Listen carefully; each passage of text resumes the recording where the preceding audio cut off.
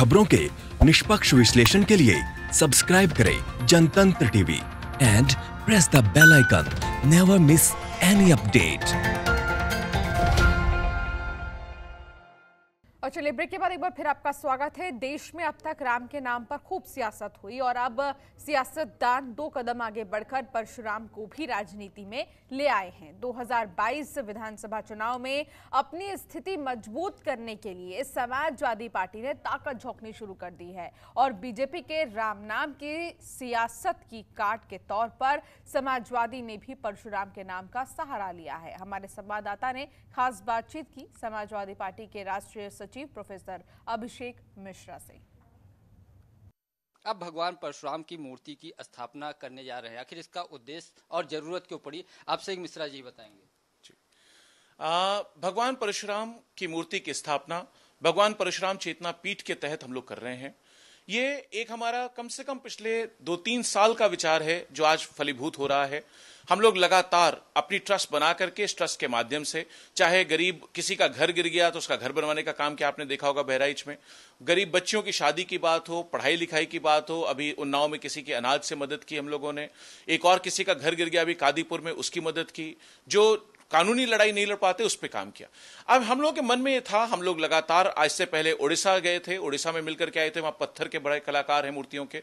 चेन्नई गए थे, गुजरात देख करके आए थे statue of liberty statue of unity देख करके आए थे। और जयपुर में कल हम लोग पूरी तरीके से एक बहुत भारी संख्या में वहाँ जितने कलाकार हैं, कोई प्राइम मिनिस्टर अवार्डी है, कोई प्रेसिडेंट अवार्डी है, किसी को पद्मश्री मिल चुका है, सबसे मिलकर एक ब्रॉन्ज की बड़ी मूर्ति की स्थापना की बात हुई है। तो हम लोगों ने मन बनाया है कि 108 फीट की जो कि दुनिया की भगवान परशुराम की सबसे बड़ी मूर्ति होगी, अद्वितीय मूर्ति, अप्रतिम मूर्ति, जिस जैसा न भूतो न भविष्य। ये शायद नहीं कहना चाहिए, आगे हो सकता है लोग और बड़ा काम करें।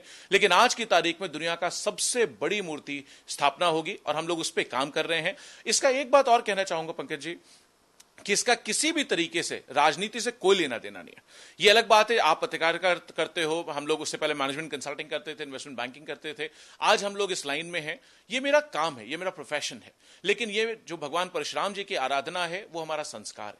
हम अपने आप को भगवान परशुराम का वंशज मान करके काम करते हैं। हमारा वो आराध्य है, हम उनकी पूजा अर्चना करते हैं, घरों में मंदिरों में लगाते हैं। आप, हम लोग जहाँ देखोगे, वहाँ आपको भगवान दिखाई पड़ेंगे। तो इसको राजनीति का चश्मा मुझे लगता है बहुत छोटा है इसके लिए। और भगवान बहुत बड़े हैं। भगवान विष्णु के छठे अवतार के रूप में वो धरती पे आए, चिरंजीव हैं, आज भी हमारे आपके बीच हैं। सतयुग, त्रेता, द्वापर और कलयुग, चारों उन्होंने देखा है। भगवान श्री कृष्ण को दीक्षा दी, सुदर्शन चक्र दिया, भगवान श्री राम को धनुष दिया भीष्म पितामह को दीक्षा दी और कहते हैं जो भगवान का आखिरी अवतार कलयुग में कलकी होंगे, उनकी दीक्षा के लिए ही भगवान परशुराम भी देंगे। तो उस भावना से हम लगाने जा रहे हैं, ये हमारा मकसद है। भारतीय जनता पार्टी कह रही कि जात की राजनीति जब इनकी सरकार थी तब ब्राह्मणों के लिए कुछ नहीं किया। आयोग पूरा एक जात के लिए बना दिया।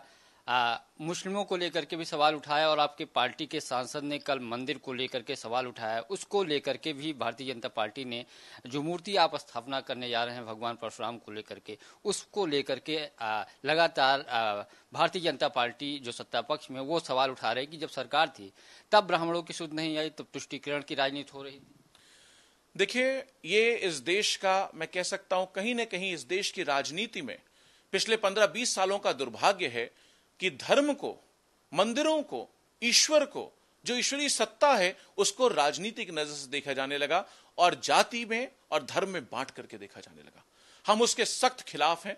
किसी भी तरीके का, मैं मैं इस बात पे आपको यही कहना चाहूँगा, मैं जायज़ नहीं समझता, मैं भारतीय जनता पार्टी को इसका जवाब देना।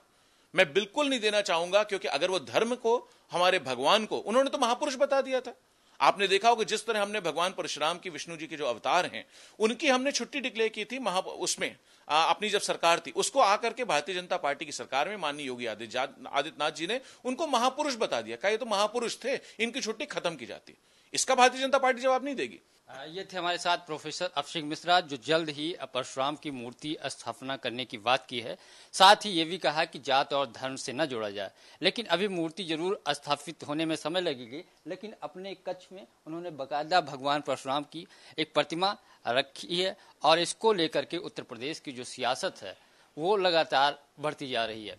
कैमरामैन रोशन के साथ पंकज चतुर्वेदी, जनतंत्र टीवी, लखनऊ। खबरों के निष्पक्ष विश्लेषण के लिए सब्सक्राइब करें Janatantra TV and press the bell icon never miss any update.